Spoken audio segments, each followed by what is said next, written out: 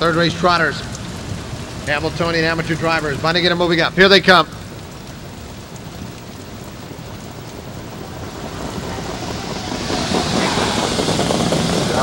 And they're off. Off to a slow start. Iroquois Indian Trick, L'Enfranchisson. From between horses, Lodestar Lobel and Ed Ryan round the first turn. Now hustled up on the outside, it's Doorbuster and Bud Hatfield. Doorbuster to the front. Well, that's Lodestar Lobel second. Off stride, Patches. Patches on a break. It's two to Spring Affair and William Mulligan in third. Then it's another two.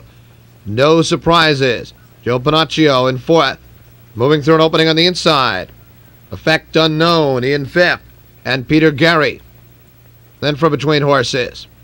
Must Be Devil, Liella McElmurray. Then up on the outside, it's Tap Dancer in two. Iroquois Indian Trick. Opening quarter, 28 and two.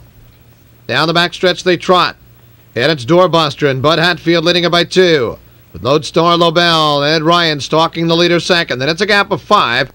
Spring Affair, William Mulligan third. The outside, no surprises, fourth. Then it's Effect Unknown fifth by two and a half. Must Be Devil in sixth. Tap Dancer. The outside seventh and Bruce Lauer. Half 57 and 1. Lively clip and it's Doorbuster and Bud Hatfield leading it by two. Lodestar Lobel and Ed Ryan trying to stay with the leader second. Then it's a gap of some five lengths.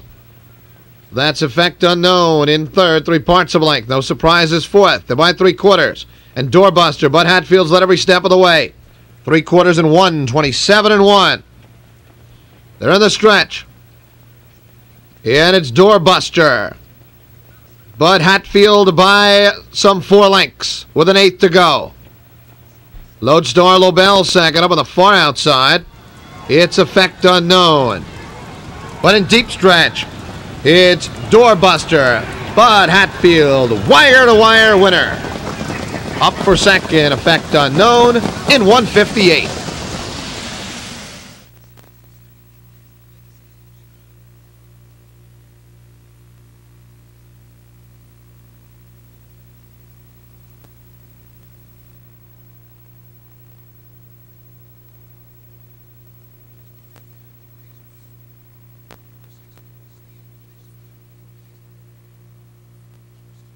Returning to the winner's circle, it's the Hatfield Stables Doorbuster, a five-year-old brown gelding, trained by Kevin Hewitt, and driven to victory. Congratulations, Bud Hatfield. The 7-9 exacta returns $49. 7-9 $49. Pick 3 3 of 3, $572.40. 572 40